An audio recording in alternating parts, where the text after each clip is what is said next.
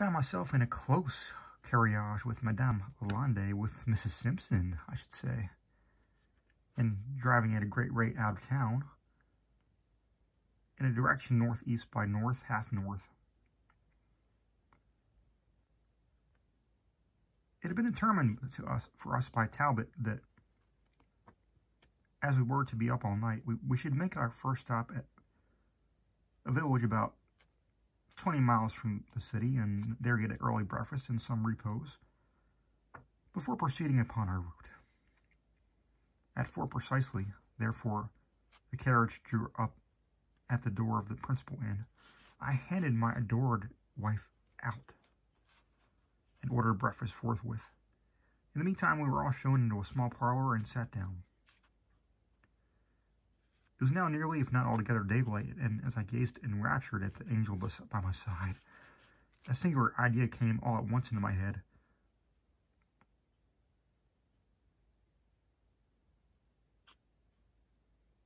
That this really was really the very first moment since my acquaintance with the celebrated loveliness of Madame Lalande that I enjoyed a nearly ins a near inspection of that loveliness by daylight at all. And now, mon ami, she said she, taking my hand, so interrupting this trained reflection. And now, mon, mon cher ami, since we are indis indissolubly one, since I've yielded to your passionate entreaties and performed my portion of our agreement, I shall pres presume you have not forgotten that you have also a little favor to bestow, a little promise, which is your intention to keep. Ah, let me see. Let me remember. Yes.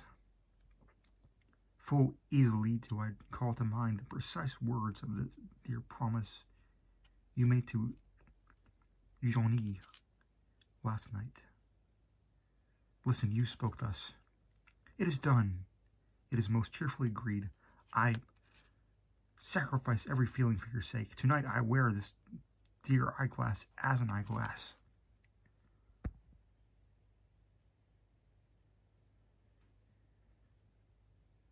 And upon my heart, but with the earliest dawn of the, that morning which gives me the privilege of calling you wife, I will place it upon my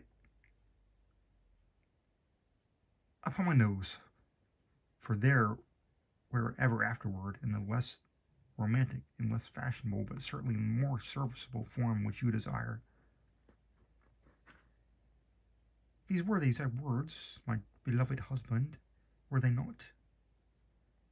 They were, I said.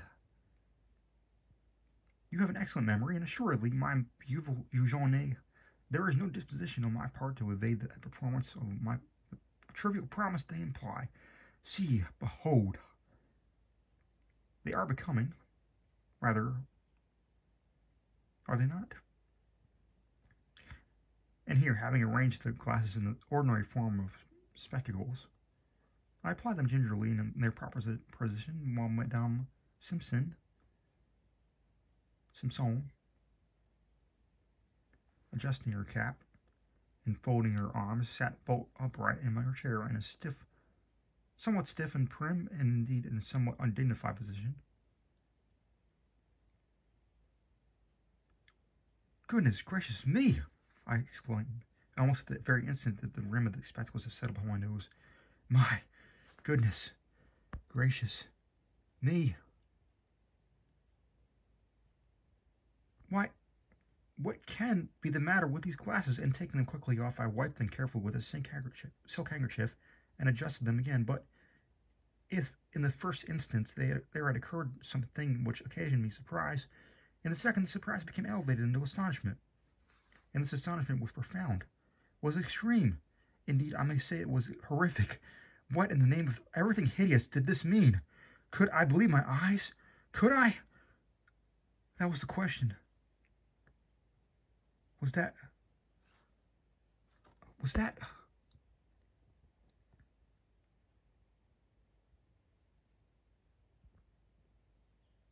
was that Rouget? Were those, and were those were those wrinkles upon the visage of Eugène Lalande? And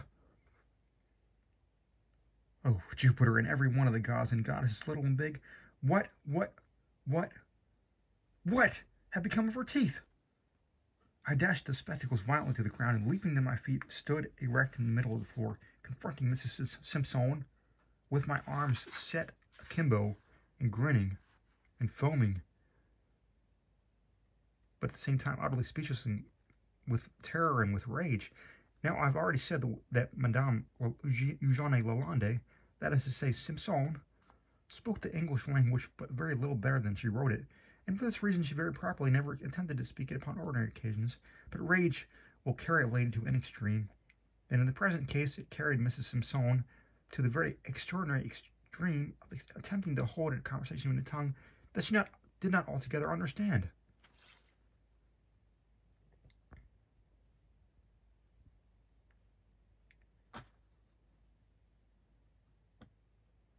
Well, monsieur, said she, after surveying me in great apparent astonishment for some moments. Well, monsieur, and what then? What the matter now? Is the dance of the Saint Vitus that you have? If not like me, what for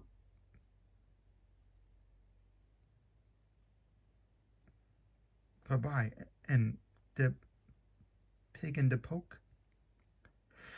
You wretch, said I, catching my breath. You, you, you villainous old hag. Hag? Oh? Me not so very old, after all. Me not one single day more than the eighty-two. Eighty-two! I ejaculated, staggering to the wall. Eighty-two hundred thousand baboons! The miniature said twenty-seven years and seven months.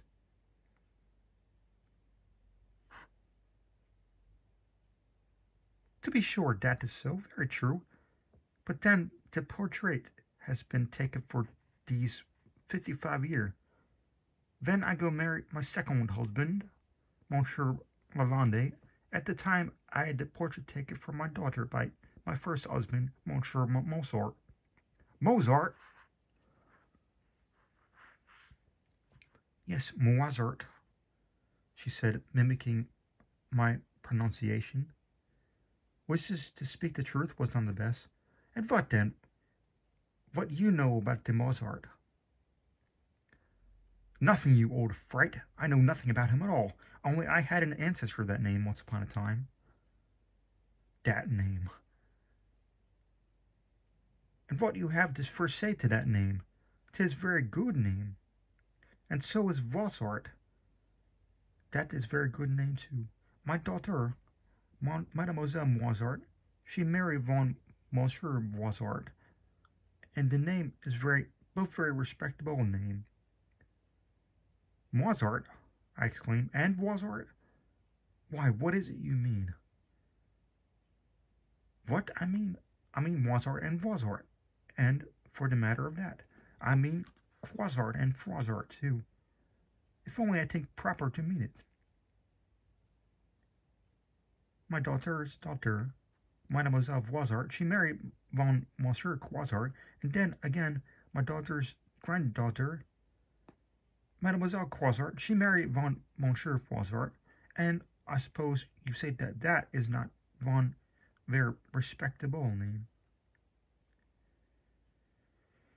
Froissart, I began said I began to faint. Why surely you don't you don't say Moissart and Voissart and Croissart and Froissart? Yes, she replied, leaning fully back in her chair and stretching out her lower limbs at great length.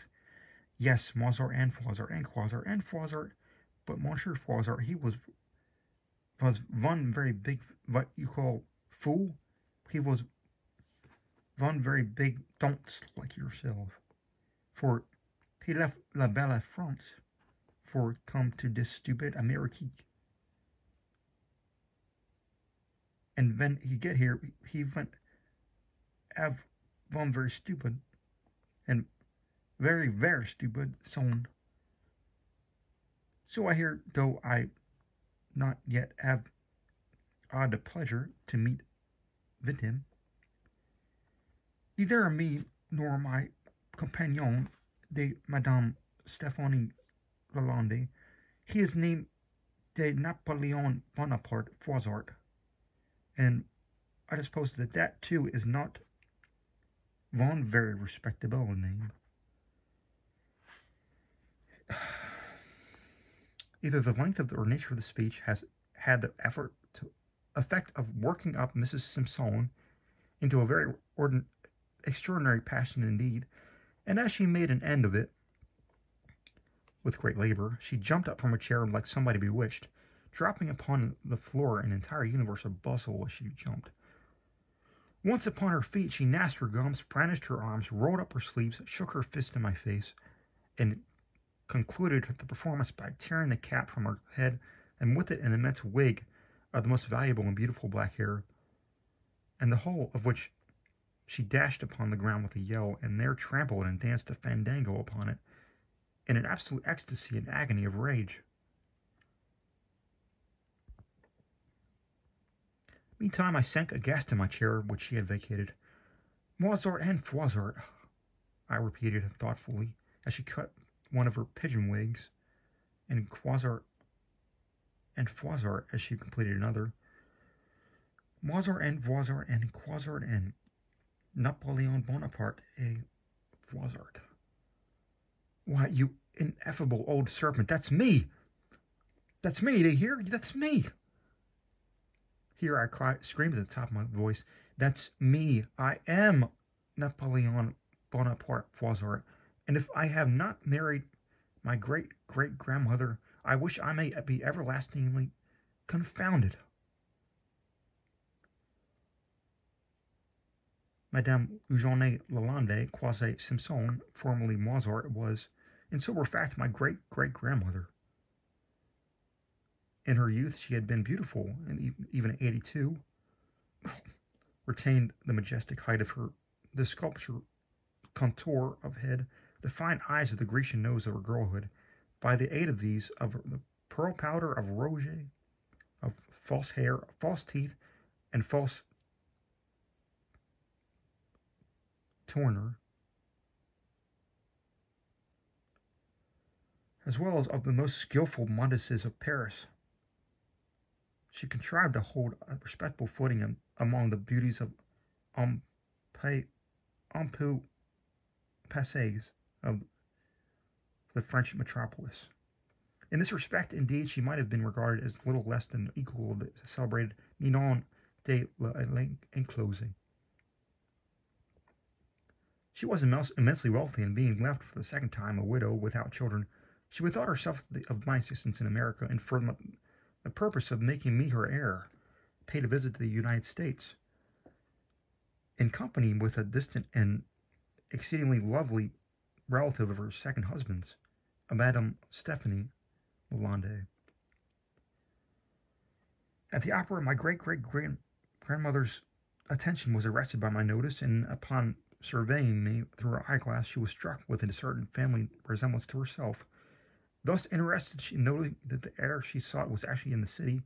She made inquiries of the party respecting me. The gentleman who attended her knew my person and told her who I was. The information thus obtained induced her to renew her scrutiny, and this scrutiny it was which so emboldened me that I behaved in the certain manner already detailed. She returned her my bow, however, under the impression that by some odd accident, I had discovered her identity, when deceived by my weakness of vision and to the arts of the toilet. In respect to in the age and charms of the strange lady, I demanded so enthusiastically of Talbot who she was. He concluded that I meant the younger beauty, as a matter of course, and so informed me with perfect truth that she was, quote, the celebrated widow Madame Lalande, unquote.